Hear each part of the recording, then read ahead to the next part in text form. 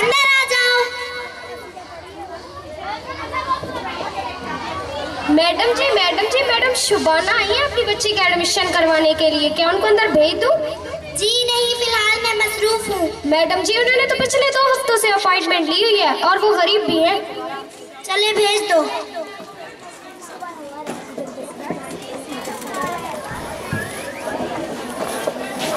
अंदर आ जाइए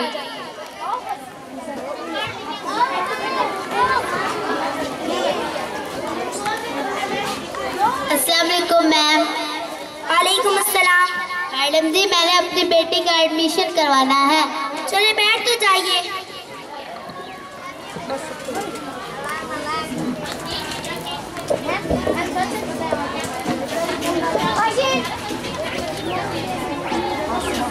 बच्ची का नाम क्या है? बच्ची का नाम अरीदा है। बच्ची के बाप का नाम क्या है? बच्ची के बाप का नाम सजाद है। बच्ची की उम्र क्या है? छह साल। बच्ची कुछ पढ़ना जानती है? मैं तो इतना नहीं पढ़ी लेकिन मैंने इसे अपने घर में थोड़ा बहुत पढ़ाया है। मैंने इसे वन टू टेन गिनती आती है। अच्छा सुनाइए। One two three four five six seven eight nine ten. Wow शाबाश बैठ जाओ। अच्छा अपना एड्रेस बताएँ। मैम मुझे समझ नहीं आई। मैडम जी अपना पता बताएँ। मैडम जी हम स्कूल से पिछली गली में रहते हैं। मैडम जी बच्ची के बाप क्या काम करते हैं? बच्ची के बाप मजदूरी करते हैं। अच्छा अगर बच्ची के बाप मजदूरी करते हैं तो आप अपनी बच्ची को इतने महँगे स्कूल में कैसे पढ़ाएँगी? मैं अपने घर में कढ़ाई सिलाई करती हूँ और मैं तो इतना नहीं पढ़ी लेकिन मेरी ख्वाहिश है कि मैं अपनी बेटी को अच्छे स्कूल में दाखिला करवाऊँ और बहुत पढ़ाऊँ। अच्छा यहाँ पे सिग्नेचर कर दें। मैम मुझे समझ नहीं आई। मैडम जी यहाँ दस्तखत कर दें मैडम जी मैं अपना नाम उर्दू में लिख दूँ? जी लिख दें। अच्छा अब आप जा सकती हैं आपकी बच्ची का एडमिशन हो जाएगा। शुक्रिया ma'am.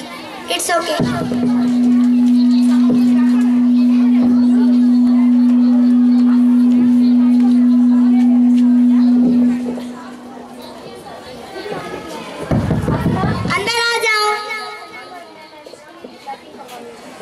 madam ji madam ji, madam Neelam आई है अपनी बच्ची का एडमिशन करवाने के लिए। वो बहुत शोर मचा रही है।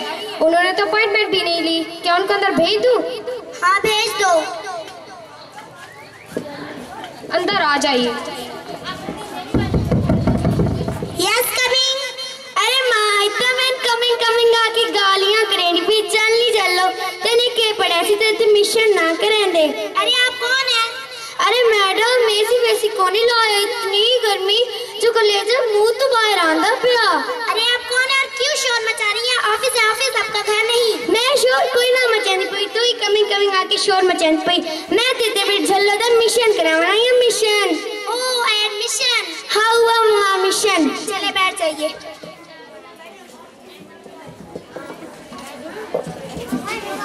बच्ची का नाम क्या है? मेरी थी दना झल्लो रानी है।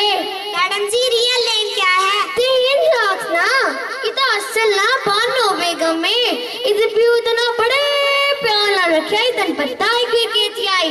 अच्छा बस बस बच्ची की उम्र क्या है? मेरी दी दो साल की है छह साल की बच्ची आपको दो साल की नज़र आती है? मैं दिमाग तू दिमाग तू दिमाग बनाने की कोशिश न कर।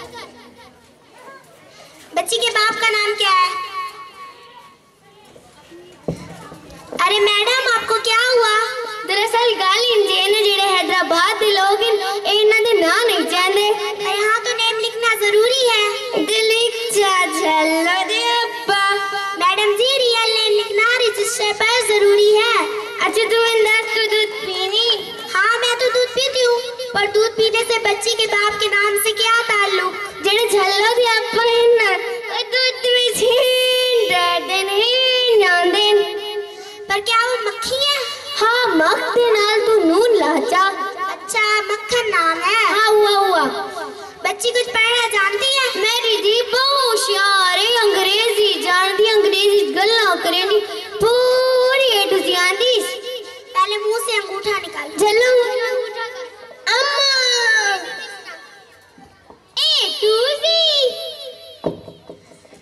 अच्छा अपने एड्रेस तो करें भी। आज तो सिवाया है ना।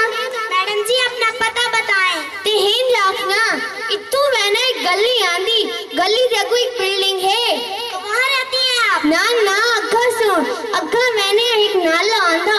नाले देखो एक सावी मस्जिद है तो। वहाँ रहती हैं आप ना ना अग्गा मैंने एक चाट डाली थी तू कहाँ आंदी। उत्तू मैं दी चलो उंगलियाँ चट चट के सारा चट चट कर दी अच्छा बस बस समझ आ गई। बच्ची के बाप क्या काम करते हैं? सारा दिन गलियाँ फिरते हैं घर मांडे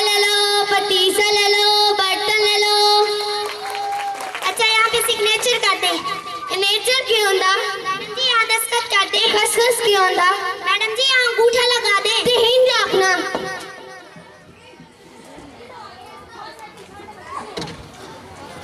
अच्छा अब आप जा सकती हैं। आपकी बच्ची का एडमिशन हुआ है या नहीं आपको बता दिया जाएगा। हुआ या नहीं? देखिए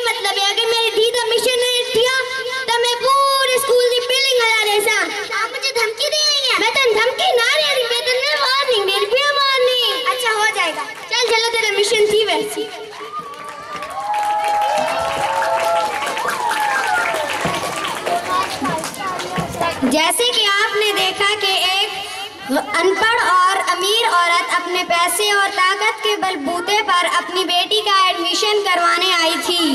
और उसने तो उसे सलीका भी नहीं सिखाया हुआ था।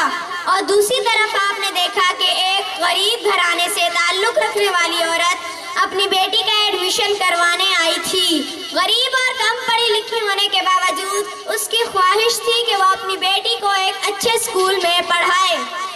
ऐसी माओ को सलाम।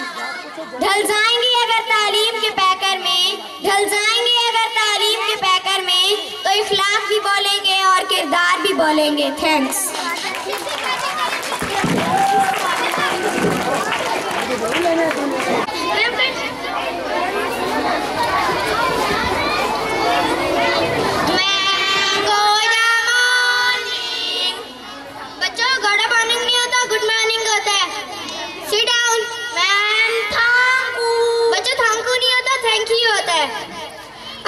आपसे सवाल पूछूँगी, आपने उसके मुझे ठीक ठीक ठीक जवाब देने हैं।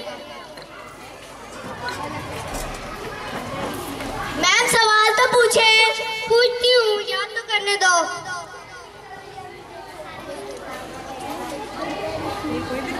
हाँ हाँ हम कौन है? हम किसकी इबादत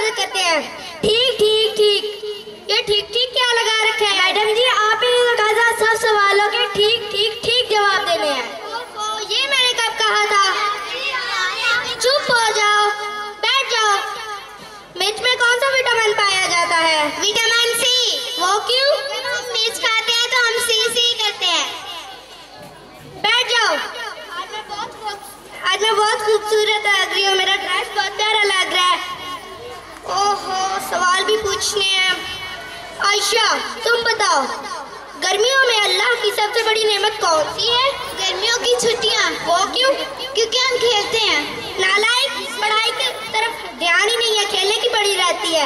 मीरत पेपर में सवाल आसान थे? मैम सवाल तो सारे आसान थे, लेकिन जवाब ही मुश्किल थे।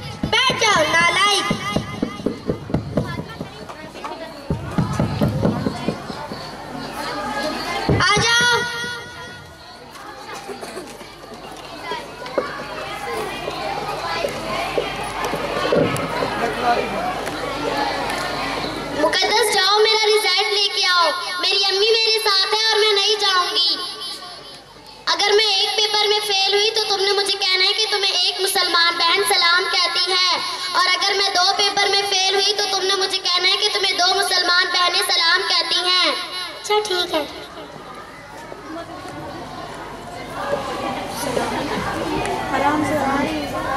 अस्सलाम वालेकुम हफ्सा का रिज़ल्ट तो दे दे। ओह नो हफ्सा तुम्हें तो पूरी उम्मत मुसलमान सलाम करती है। हफ्सा तू कार चल मैं तेनू हज करा दिया।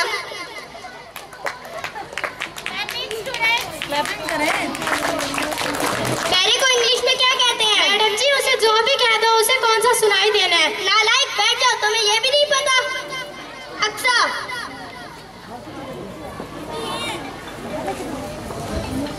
अठारह सौ छिहत्तर में क्या कायदे आज़म पैदा हुए थे। अठारह सौ उनासी में क्या हुआ था? और अचानक आज़म तीन साल के हो गए थे। नालायक बैठ जाओ। अगर इसराइल तुमसे पूछे कि तुम जन्नत में जाओगी में। तो तुम क्या कहोगी? मैडम जी, मैं कहूँगी, ज़मीन से मेरा फ़ोन और चाचा जाओ मैं कहीं भी रह लूँगी। बैठ जाओ, नालायक। दो। तुम मुझे कोई ऐसी कहानी सुनाओ जिससे सबक मिले, जैसी करनी, वैसी भरनी। मैम जी, एक दफ़ा का ज़िक्र है, मैंने अपनी दोस्त को फ़ोन किया। उसने मेरा फ़ोन नहीं उठाया। अगले दिन जब उसने मुझे फ़ोन किया, मैंने उसका फ़ोन नहीं उठाया। इससे हमें क्या सबक मिलता है? मैम, इस कहानी से हमें यह सबक सबक मिलता है, जैसी करनी, वैसी बननी बैठ जाओ। दिल्ली में कुतुब मीनार है। जाओ बताओ, मैंने क्या कहा? मैडम जी आपने कहा है कि